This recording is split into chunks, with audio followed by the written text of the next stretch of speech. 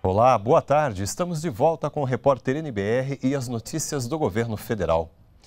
Os supermercados brasileiros cresceram mais de 2% no primeiro trimestre deste ano, atingindo o melhor resultado para o período dos últimos cinco anos. Esse resultado foi comemorado na abertura do APAS Show, a maior feira e congresso de redes de supermercados do mundo. Na abertura da 34ª edição da feira, que tem como tema Nós Amamos Supermercados, o presidente Michel Temer comemorou os dois anos de seu governo. Temer destacou o fato de o setor varejista e os mercados ajudarem a impulsionar o crescimento do país. O Brasil tem que orgulhar-se daquilo que está acontecendo uh, no nosso país. Mas isto tudo se deve, não é apenas à ação do governo, não. Até acho que é menos a ação do governo e mais a ação da iniciativa privada, no particular dos supermercados. Eu acho que os supermercados é, são, são, na verdade, o termômetro, né? Os supermercados são o termômetro de como anda a economia. É, primeiro, porque é para o supermercado né, que convergem, que convergem importantes cadeias de produção do país. Você não adianta produzir se não, você não tiver meios e modos de fazer chegar isso à população. E o supermercado é exatamente isso. Agora que é, trabalha toda semana, trabalha aos sábados, domingos, feriados, e até muitas vezes alguns que mantêm abertas suas portas por 24 horas. Este é um meio interessante, um meio de contato extraordinário da população. O sistema digital Evisa fez aumentar a emissão de vistos de turistas estrangeiros que vêm ao Brasil. Segundo o Ministério do Turismo, o novo sistema, válido para canadenses, australianos, norte-americanos e japoneses, reduziu a burocracia, o que se traduziu em diminuição do tempo para a liberação do documento, que passou de 40 para 3 dias em média. Na comparação entre abril deste ano e o mesmo mês do ano passado, a quantidade de vistos aumentou em média 49%. Segundo a estimativa da Organização Mundial de Turismo, ferramentas como o Evisa podem impulsionar em até 25% a entrada de turistas no país. A Ásia é a região do mundo com a economia mais dinâmica e o governo brasileiro está buscando o crescimento das relações comerciais, a ampliação de investimentos e a diversificação dos negócios. Por isso, o ministro de Relações Exteriores, Aloysio Nunes, vai visitar a partir de hoje sete países asiáticos. Na primeira parada, Singapura, o chanceler realizou reuniões de trabalho e assinou um acordo para eliminar a dupla tributação em relação aos impostos sobre a renda. O acordo deve aumentar o fluxo de investimentos entre os dois países. O Brasil vai exportar material genético de bovinos para Quênia, Equador, Colômbia e Guatemala. Os investimentos do Brasil no setor e o reconhecimento do nosso país como livre de febre aftosa contribuíram para as negociações, que duraram cerca de uma semana. Dependendo da negociação, os países vão receber embriões in vitro e in vivo, bovinos vivos e sêmen. Doce, gostoso e famoso pelas propriedades medicinais. Com tantas qualidades, o mel também é um negócio rentável. E quem traz os detalhes sobre as ações do governo para estimular a produção é a repórter Cleide Lopes. O quilo do mel da abelha sem ferrão, produzido no agreste do Rio Grande do Norte, pode valer até oito vezes mais que outras espécies existentes no Brasil. Este mel é produzido pela abelha jandaíra e tem sido uma das principais fontes econômicas da região.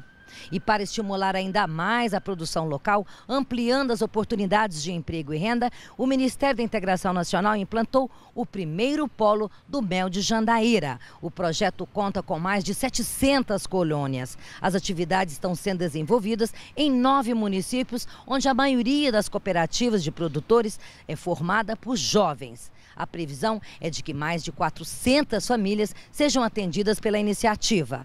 A Rota do Mel faz parte do programa Rotas da Integração Nacional, que tem ainda o polo apícola do norte de Minas Gerais, onde mais de 1.400 famílias são beneficiadas em 40 municípios. De Brasília, Cleide Lopes. As inscrições para o Exame Nacional do Ensino Médio, o Enem 2018, estão abertas até o dia 18 de maio. Entre as novidades deste ano estão os 30 minutos a mais de duração nas provas de Ciências da Natureza e Matemática. A expectativa do Ministério da Educação é de 7 milhões e 500 mil inscrições para o exame.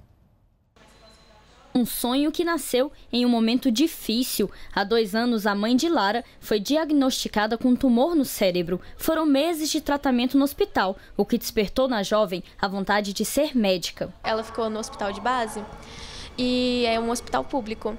E aí eu sempre via pessoas bem humildes e os médicos cuidando muito bem deles e eu fiquei encantada. Então, eu, meu sonho é fazer medicina, ainda mais trabalhar num hospital público.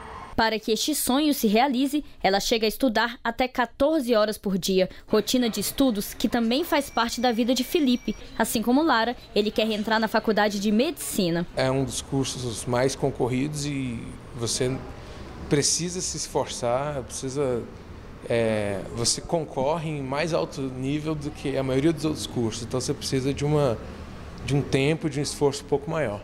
E essa dedicação toda tem motivo. O Enem, as inscrições para o Exame Nacional do Ensino Médio vão até o dia 18 de maio e os estudantes já se preparam para garantir uma vaga na universidade.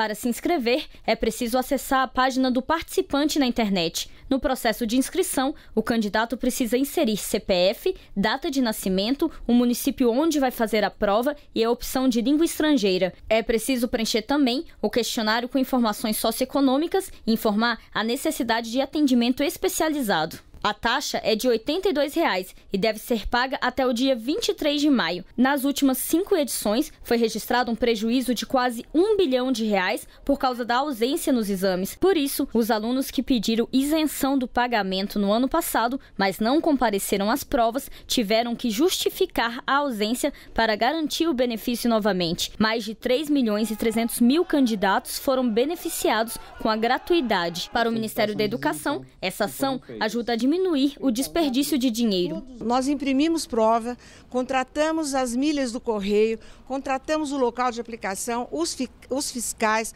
a, a operação reversa, os corretores, enfim, há todo um empenho para que tudo ocorra bem. Isso é gasto público. O que nós queremos é zelar por esse gasto, mas volto a repetir: não há intenção de fazer economia. O que nós queremos é que o gasto seja justo e devidamente monitorado. Quem pediu a isenção de taxa também precisa fazer a inscrição, mas o processo é simplificado. Para evitar fraude, a segurança também será reforçada. Já estivemos com a direção da Polícia Federal é, para que eles nos ajudem, contribuem constantemente, sempre com aspectos de melhoria, desde a descrição, inclusive de, de equipamentos, por exemplo, para de, detecção de ponto eletrônico, é, que vai ser aprimorado, a colocação e qual a descrição do bom equipamento para detectores de metais e assim por diante, entre outros processos, que vai desde o acompanhamento é, de transporte, logística, da gráfica, a Polícia Federal acompanha todas as etapas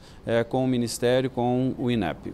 As provas do Enem vão ser nos dias 4 e 11 de novembro. Este ano, os candidatos terão mais tempo para fazer a prova de matemática, ciências da natureza e suas tecnologias. Em vez de 4 horas e meia, serão 5 horas. Esta edição termina aqui. Você pode rever as reportagens no YouTube e toda a nossa programação também está na página da NBR na internet. Uma boa tarde para você e continue com a gente na NBR, a TV do Governo Federal.